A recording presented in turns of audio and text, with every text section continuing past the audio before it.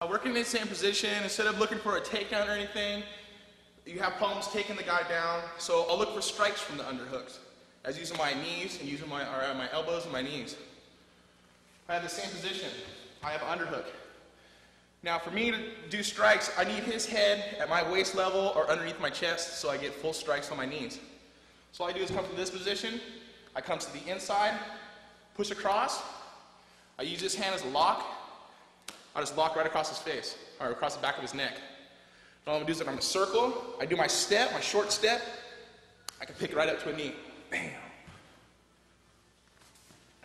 Right from the underhook position. I go across, push his head away, pull it down, I step back, bam, I go for a knee from right there.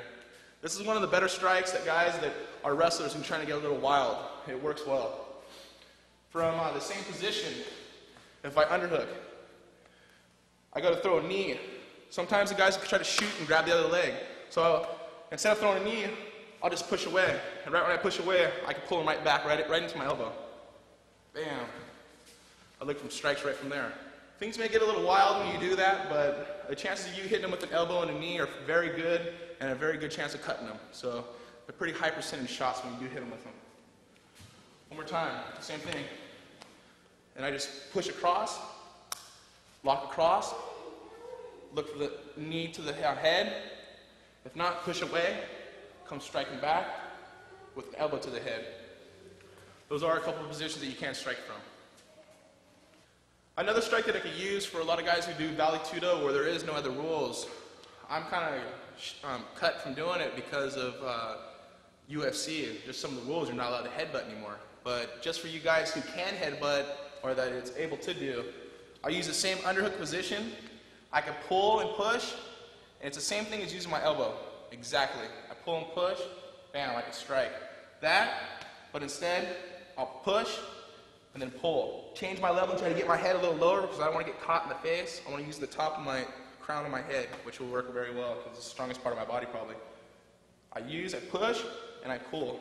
As soon as I pull, it's just pretty much like trying to lead him with the top of your head. I use snaps like that. So it's just like I push and I pull. Bang. I use off that position. Some of those can be a little better because when I do underhook, I'll hook the head and then headbutt and I'll look for the slice on the bridge of the eye. Because when I grab the other side, headbutt to this side, I'll pull and push, headbutt to that side. That's just a couple of different um, styles of headbutts that you use from the underhook from a standing position. Using the same underhook, I can use uh, knee strikes to the body that work very well. If I work on the ab part of uh, my opponent, usually later on in the rounds, you can finish them with uh, um, body shots. It takes a little bit out of your uh, kidney from it. So all I do is I work the same thing, the neck collar tie, the underhook. I pull, drop my hips back, and as soon as I come back up, I'm leading with my knee. Bam. I work for shots, maybe in the mid and upper and side of the body. Have the same thing, underhook, pop my hips back.